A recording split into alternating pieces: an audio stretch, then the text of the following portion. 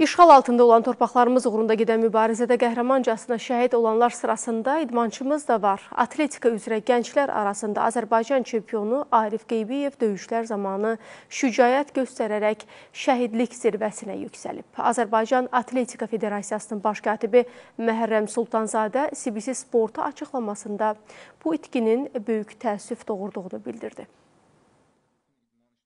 Bu xəbər nəinki Atletika Federasiyasını, həm də bütün idman ictimaiyyəti və insanları kövrətdi. Qeybi Varif 2006-cı ildə Astara şəhərində atletika idman növü ilə məşqçi Fikrət Qəfarovun rəhbərliyi altında məşqlərə başlayıb.